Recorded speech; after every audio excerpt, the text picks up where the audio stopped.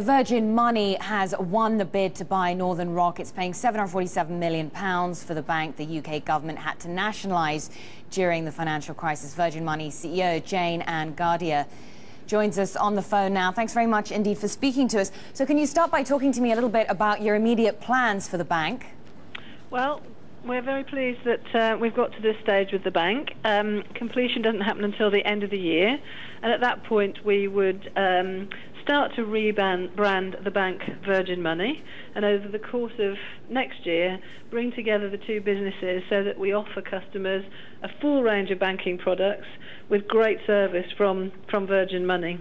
And the bank will have in total 4 million customers, 3 million that have uh, come to us online directly to Virgin Money, and a million Northern Rock customers. Uh, and we're really looking forward to bringing those two parties together and creating a better bank for the future. All right, so then tell me a little bit about the timing of this sale. Why now? Well, um, we've been working on this particular sale certainly since uh, the early summer. Of course, we've been interested in uh, looking at Northern Rock for a number of years. Um, but this isn't uh, um, sort of a, a, quick thing by any means. This is a something that we see as a platform for the growth of Virgin in banking over many years to come. Uh, you know, it's certainly our intention that this is a bank that will be here in 150 years' time. So it's the opportunity that came at the time that it did. Um, it was right for us to get involved. We think we've made a great offer for uh, everybody that's involved. The people in the northeast who have been so loyal to Northern Rock, um, the customers of Northern Rock, who we value hugely, think that um, that it's a great deal for the British taxpayer, um, and it's really good to get more competition in banking. Uh, well, the Chancellor George Osborne did say years ago that, that bids for Northern Rock at the time didn't offer value. Has he has he lowered his expectations, or did you offer more? Well, as I understand it, listening to the Chancellor this morning, um, there's been a full analysis by external parties as to the right way to go. Uh, and the offer that we made um, represented the best offer for taxpayers. We tried to make uh, our offer as um, positive as we possibly could. Uh, and of course, there's lots of different factors to take into account. How much money can we uh, pay, and how much capital can we keep in the business to make sure that it is absolutely sound and stable for the future? And we've been able to do both of those things. So, what then do you like about the Northern Rock franchise? What are you going to improve? Well, we, as I say, we think that um, the customers and uh, people at Northern Rock have been uh, fabulous thus far, and we're delighted to be part of that um, that opportunity and, and, that commitment and that success. Uh, Northern Rock has 75 branches across the country, certainly not just in the northeast. Um, and for us, the opportunity to unite the branches of Northern Rock with the online capability of Virgin, the products of Northern Rock, mortgages and savings and current accounts, um, with the credit cards and insurance and investment products that Virgin brings. Uh, 3 million customers from Virgin, a million customers from Northern Rock.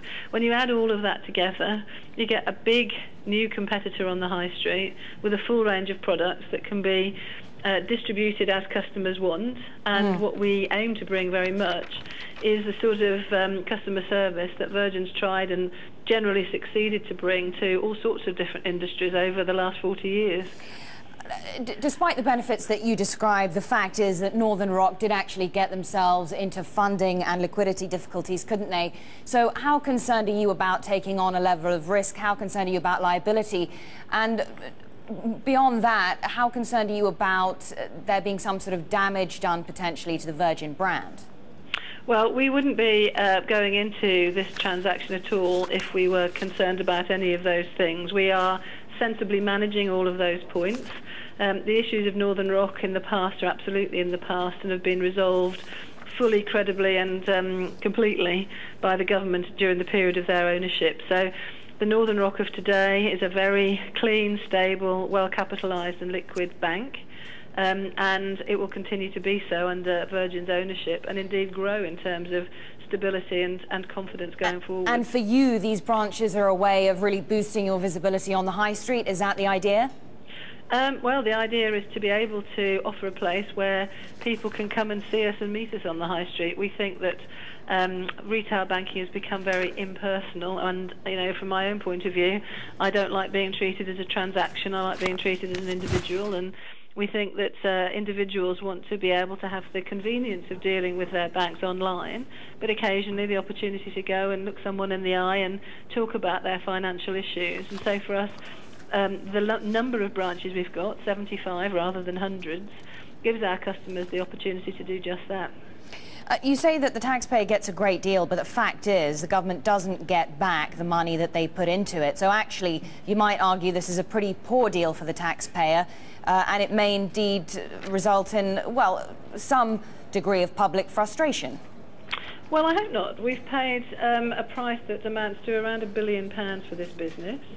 Um, the, if you look at the financial accounts of the business back in June, the book value, the, the worth of the bank at that point was 1.1 billion. Um, so in terms of actual cash, we think that that's a, very good return for the government, particularly in these days when uh, other banks are trading at, much lower multiples on their on their net asset value. So we think that's a very good price to pay. And of course, on top of that, um, we also think it's very good for the northeast. We're making a commitment that there'll be no further redundancies announced in the northeast. Um, and uh, we're making a commitment to the Northern Rock Foundation to be able to work with them over the next couple of years to together um, build a, an even greater charitable capability from the combined business. So there are a number of areas where we think that this is good for the taxpayer. Cash is one of them and price is one of them. Mm. Um, but there are other good things too. I mean, just a quick one. Under the terms of the deal, the government's going to receive £774 million, aren't they? That's $1.2 billion in cash on the closing of the sale. Uh, and that will rise to as much as a billion pounds in total in the future. Exactly how is that going to work? Well, um, we looked at our offer based on the financial results of the Northern Rock business at the end of September. Um, so between the end of September and the end of December, um, there will be other numbers to, to look at, and we believe that that will uh, that could crystallise as much as an additional 50 million pounds worth of uh, benefit for the government at that point. Um, we have also um, le- uh, taken out or committed um, a capital note of 150 million pounds uh, that's uh, in the business, so another 150 on top of that. And then if the business, the Virgin Money combined business, floats within the next two to five years, um, then there's an additional payment for the government, assuming that that is a profitable float, uh, and that could be 80 to, to 50 to 80 million pounds, depending on the the timing of that flotation. So that gives the, the government and the taxpayer the opportunity to get back a number quite in excess of a billion pounds.